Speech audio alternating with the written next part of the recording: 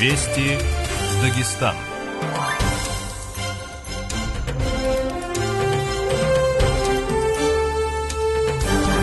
Danışır Mahaçqala. Axşamınız xeyir hörmətli dinləyicilər. Dağıstan radiosu ilə Azərbaycan dilində Mahaçqala 105.6, Dərbənd 104.9, Xasavyurt 101 FM diapazonunda xəbərlər buraxılışını dinləyirsiniz. Mikrofon qarşısında jurnalist Zöhrə Musayeva, rejissor pult arxasında Mina xanım Mamayeva.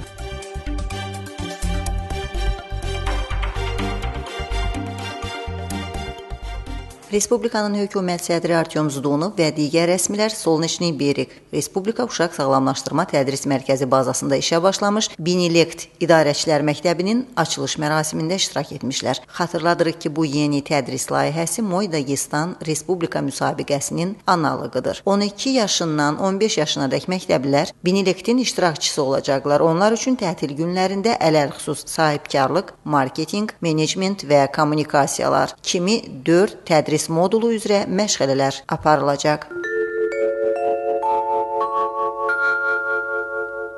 Respublika rəhbəri Vladimir Vasilyev Dağıstan Respublikasının mədəniyyət və incəsənət sahəsi işçilərini Peşəkar Bayram Mədəniyyət İşçisi Günü münasibətilə təbrik edib. Təbrikdə deyilir: Dağıstan mədəniyyəti bizim milli fəxrimiz, Rusiyanın dağlar yurdunun ən gözəl ənənələrini özündə qoruyub saxlayan zəngin irsimizdir. Tarixlər boyu bizim xalqlarımızın müxtəlifliyi və özünə məxsusliliyi, yaradıcı potensialı, mənəvi dəyərləri əsasında formalaşaraq ölkənin və dünya mədəniyyətini daha da zənginləşdirmişdir. Dağıstan Respublikası insanları öz tarixi keçmişi ilə birləşdirən vahid tarixi mədəni kompleks olaraq qalır.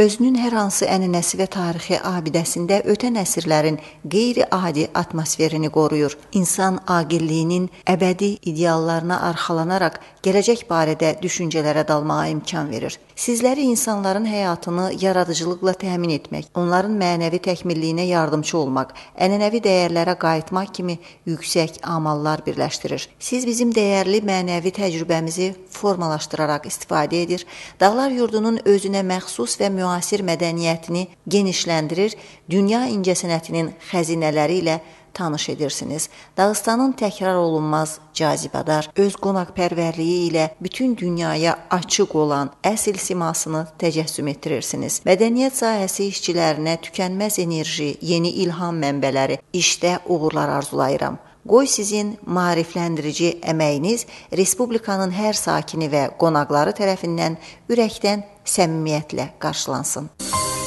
Respublikanın Mədəniyyət naziri Zarema Butayeva da öz həmkarlarına Peşəkar bayram münasibəti ilə bağlı təbrikini çatdırıb. Respublikanın hökumət sədri Artyom Zdunov bu gün vətəndaşları qəbul edib. Qəbula gələnlərin əksəriyyəti üzləşdikləri sosial problemlərlə müraciət etmişlər. 3 günlük iş səfəri ilə respublikamıza təşrif buyurmuş İndoneziya Respublikasının Rusiya Federasiyasında və Belarus Respublikasında fövqəladə və səlahiyyətli səfiri Mühəmməd Vahid Supriyadi və onu müşayiət edən rəsmi şəxslər Dərbənddə olmuşlar. Onlar Narınqala istehkamına Cümə məscidinə baş çəkmiş, UNESCO-nın Ümumdünya İrsi siyahısına daxil Dərbəndin Qoruq muzeyi, Qırxlar qəbirstanlığı ilə tanışlıq əldə etmişlər. Qonaqlara müxtəlif dövrləri əhatə edən memarlıq abidələri barədə geniş məlumat verilmişdir. Mühəmməd Vahid Supriyadi Dağıstana səfərinin məqsədini açıqlayarkən ilk növbədə bunun İndoneziya ilə Rusiya arasında əməkdaşlığın daha da möhkəmləndirilməsi ilə bağlı olduğunu qeyd etdi. Bu əlaqədə o, İndoneziya ilə Dağıstan arasında iqtisadi, ticarət və mədəni sahələrdə əməkdaşlığın daha da əlverişli olacağına ümid bəslədiyini bildirdi.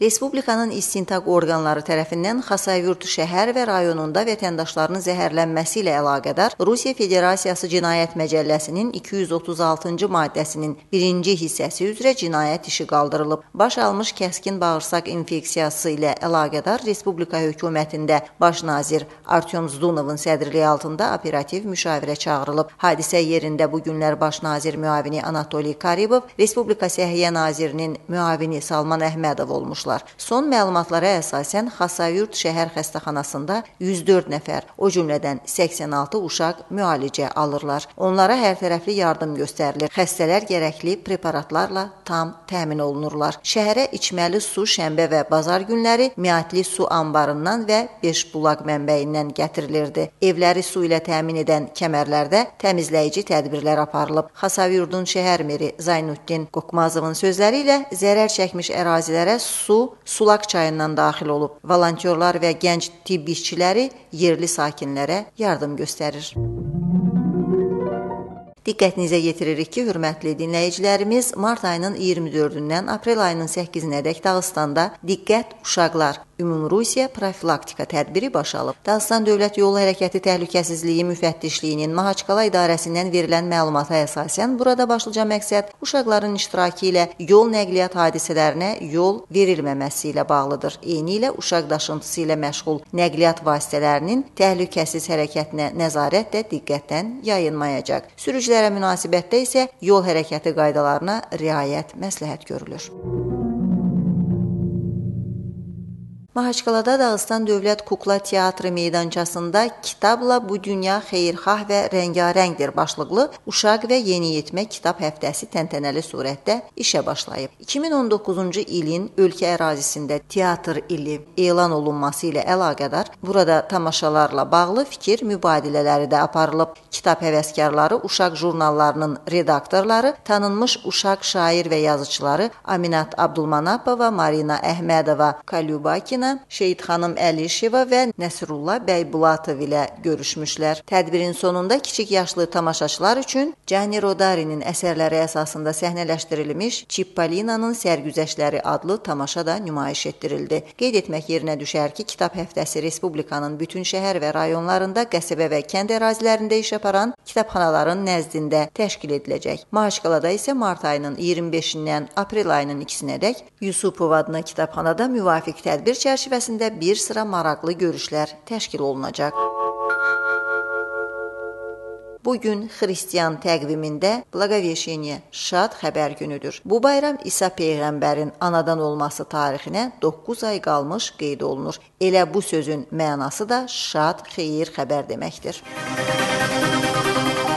Siz xəbərlər buraxılışını dinlədiniz.